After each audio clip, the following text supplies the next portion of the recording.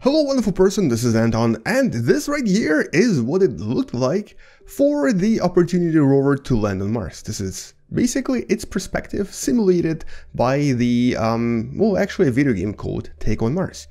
We're looking at the landing of the actual rover, specifically about 15 years ago.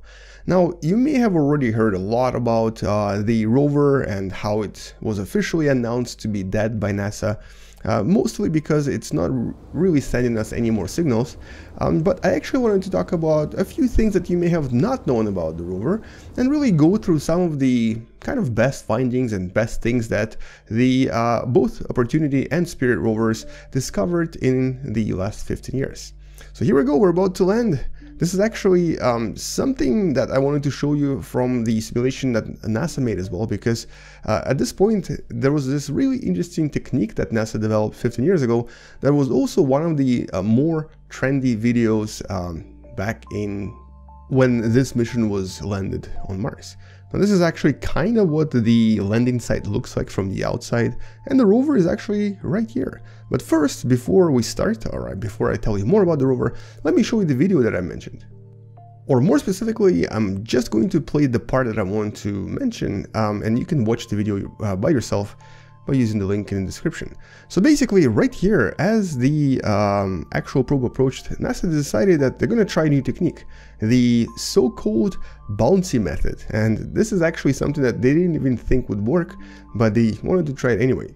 At least many people didn't believe that it's going to work. But it's this, uh, they had these really awesome pillow-like um, structures that would essentially let the rover drop onto the ground and it would bounce around, stop, the pillows would then um, deflate and the rover would be released. So it was a pretty brilliant technique on how to essentially land a rover um, without really using any extraneous fuel or other methods. So that was actually a pretty cool way of landing things on Mars. But obviously this was just the beginning of the adventure for this little rover that I'm now driving around in Take on Mars. Uh, this simulation is actually really realistic to the point where it can be really frustrating because driving this rover on Mars is not easy. And uh, there's actually some missions that you can try to complete as well, including trying to discover certain samples and so on. I'm not going to do this now, uh, mostly because uh, I think I, have done this in one of the previous videos from months ago. But anyway, so um, the interesting part about this particular rover, and I guess something that most people don't realize is that its actual maximum speed was only about 5 centimeters or 2 inches per second. That's super slow, and that's maximum speed. On average, it wasn't even moving that fast. It usually moved at about 1 inch or 2.5 centimeters per second. That, as you can imagine, uh, took a while. It basically meant that even to get to that rock right there, it would take a pretty long time. Now, when it came to actually having time though, it spent 14, um, or actually almost 15 years of its life on Mars. The original mission though, as you've probably heard, was only supposed to take 90 days.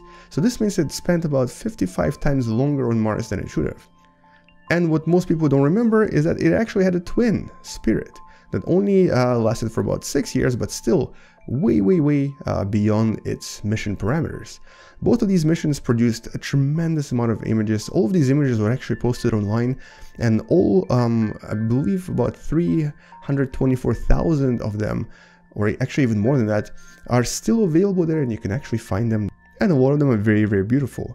And today, Curiosity um, holds the record for the farthest ever uh, travel by a single robotic entity on another object. So here we, we have the record of 45.16 kilometers, which is just um, above a typical marathon. The second uh, longest was the Lunokhod uh, 2 back in 1973. This is on the moon though. But anyway, so uh, it's an extremely successful mission, way, way beyond expectations. And obviously all of this was due to absolutely stellar engineering techniques.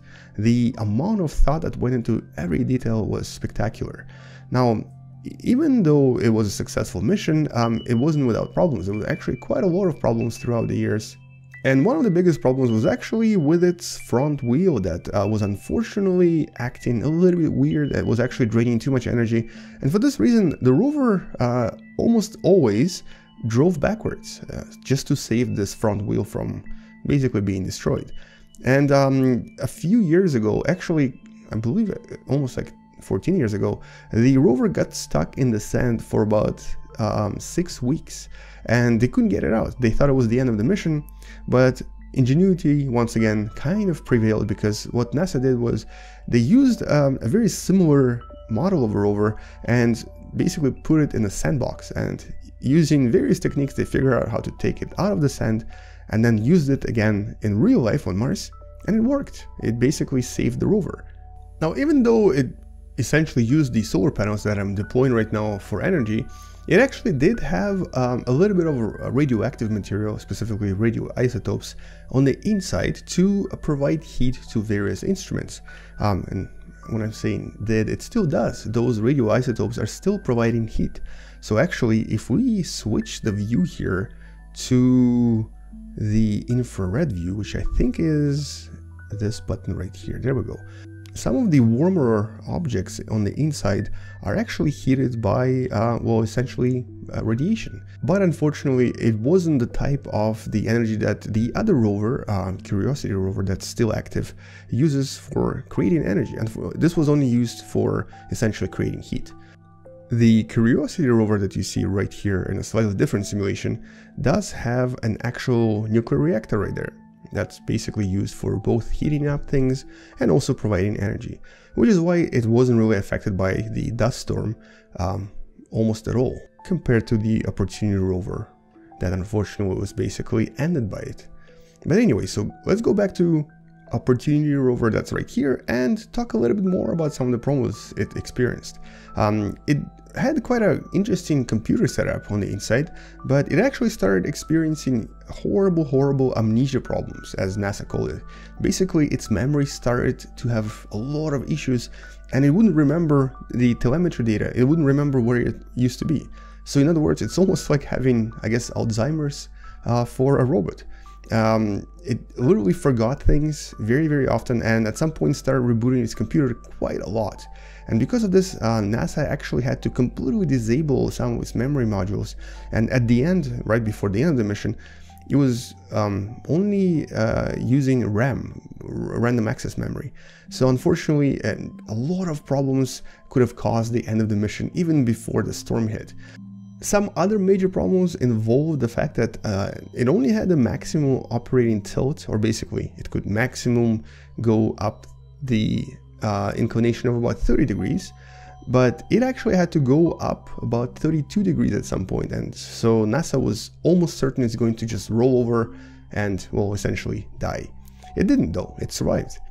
And um, on the other hand, it actually experienced another dust storm event uh, back in 2007, and uh, essentially its um, panels were almost entirely covered by dust once again. But that uh, storm was not as powerful as the one in 2018, and eventually the Martian wind was actually able to clear the panels. And so it survived that storm and was still able to actively produce enough energy.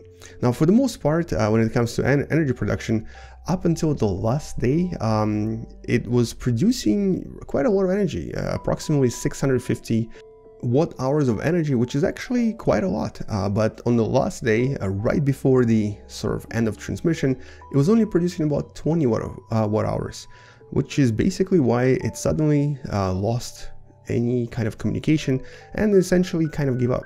It's very likely that its battery actually gave up, um, and because it lost all of the energy, it couldn't really recharge itself anymore. And so that's kind of how its life ended. Now, a few other things that people don't realize this awesome rover had. It had a lot of cameras. As a matter of fact, there was a panoramic camera, there was also another black and white camera. Was lots and lots of cameras. This was literally like a tourist on Mars, just taking snapshots, thousands and thousands and hundreds of thousands of snapshots. That was kind of really its, one of its main missions. But it also had a microscope. As a matter of fact, it had a way to collect samples by using a magnet and also using a kind of a scraping tool um, that was somewhere inside of there.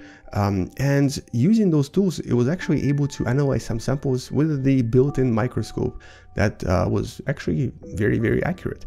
And uh, all of these um, tools allowed us to discover, well, for one, one of the most famous images the image often referred to as the Martian blueberries. Uh, essentially, these are tiny rocks that uh, were most likely produced in a type of acidic groundwater. And these are sort of the signs of water that used to exist on Mars. This was actually one of the major discoveries uh, from the mission because this definitely showed us that Mars had a lot of water. It also discovered a lot of gypsum deposits, which is what you see on the screen. This is a type of a rock that also needs uh, water to be created. Um, and uh, there's quite a lot of other sediments or sedimental rocks that would discover that were telltale signs to this liquid origin of Mars. In other words, uh, these missions told us that Mars used to be a lot more like Earth in the past. And another thing that most people don't know about this rover, actually both the Spirit and the Opportunity, is that they both included parts uh, from the World Trade Center, specifically the remains of the World Trade Center. Um, and uh, these parts were actually used to construct a type of a shielding system for some of the parts, some of the cables specifically, that were um, very, very close to the drilling apparatus.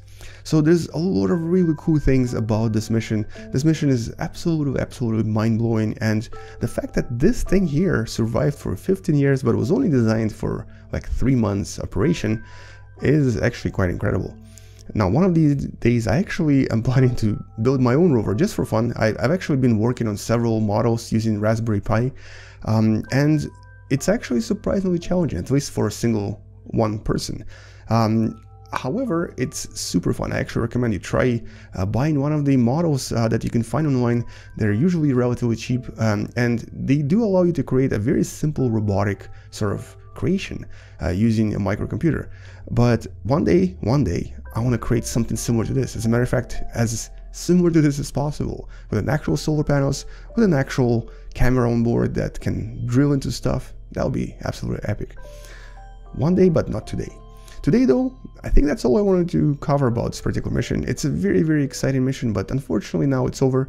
But we still have the Curiosity mission that's active. We also have the Insight mission that's currently actually drilling into the Martian surface.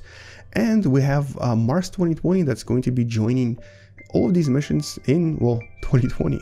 Um, there's going to be quite a lot of really exciting missions coming here, and I think Mars has actually technically been trending for the past few weeks. There's been a lot of really cool discoveries, we discovered a really cool crater, and we now have suggestions that maybe just maybe Mars is actually still geologically active because of the liquid water we discovered um, just over a year ago. Now anyway, a lot of really cool things. Hopefully one day we'll get to actually land here, maybe even walk around, and hopefully Elon Musk actually um, pulls it through and lands his rockets here within the next 10 years. Until then though, I guess we're gonna remember this beautiful mission by possibly playing Take on Mars, because I think this is actually the only simulation I currently am aware of that has a, a, very, very accurate representation of the Opportunity rover. And I'm making the little donut very similar to the one that was actually made by the rover when it started operating. They were testing its wheels. And as you can see, very, very cool, very beautiful. Anyway, on that note, um, well, let me know if I forgot something important, but I think I covered some of the more important parts, except for maybe this one. This was actually the 5000th sunrise on the surface of Mars as filmed by the Opportunity rover. It's it's pretty epic when you think about it. This is actually what the sun, or specifically sunrise, looks like from Mars. And uh, this is, was the video provided by NASA, I think from maybe a few years ago. And then we also, of course, have the entire path that was covered by the mission, starting from 2004 right there near Eagle Crater, down to Victoria Crater, all, all over the place here, and finally ending near the uh, Marathon Valley, right by the Endeavour Crater. Now this is Washington DC for comparison, this right here is about 45 kilometers. And so there you have it, that's the Opportunity mission, and the end of the mission, and the end of the era I guess but a beginning of a completely new era of exploration and hopefully human missions as well.